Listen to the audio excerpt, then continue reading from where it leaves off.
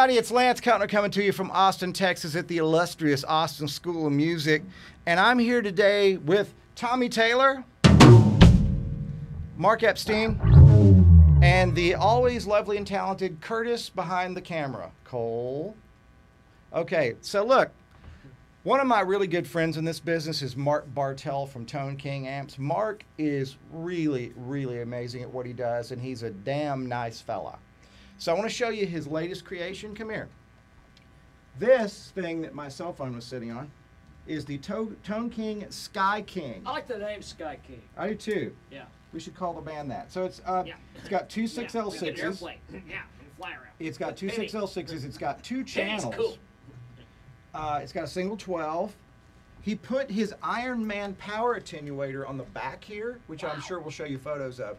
So there's a power attenu- attenuator built in for each channel. So like for right now, I've got the clean channel kind of turned up because that's how I like everything. And I've got the attenuator pulling it back down a little bit so that the overall volume coming out of the amplifier is more under control. So the gain channel is very simple, like a lot of Mark's amps. It's got a volume, a tone, and a mid bite, which I keep up pretty high. All this stuff's foot switchable, the rhythm and lead.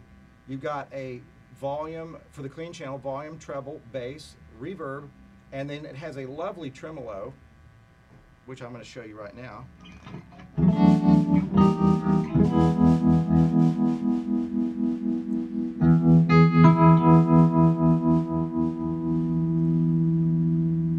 It's got a great sound and reverb. So watch.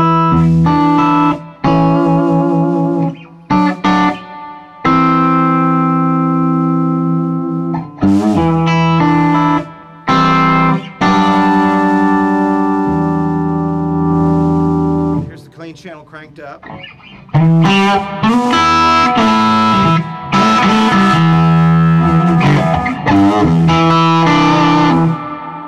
It's got a pentode and a linear mode as well.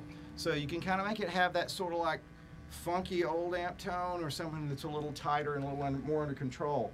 So the lead channel is typical of, of Mark's stuff. The Tone King stuff always sounds slamming in the lead channel.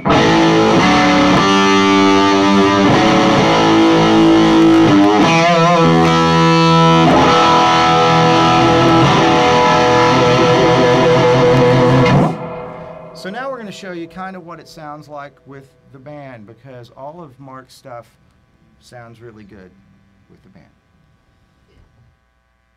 Play something.